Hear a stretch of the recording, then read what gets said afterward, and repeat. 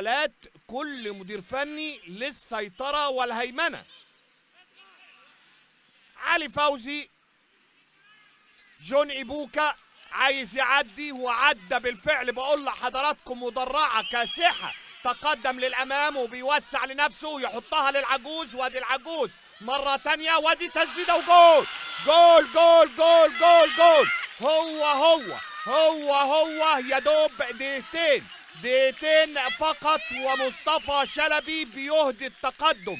لكن بعد عزف سيلفي وسولو من جون إيبوكا المدرعة وكاسحة إيبوكا حطها للعجوز مش بتاعته حطها للبتاع لجوان وبالفعل بالفعل مصطفى شلبي بتاع لجوان بعد دقيقتين بيضيف ويعمل ريمونتادا وكامباك.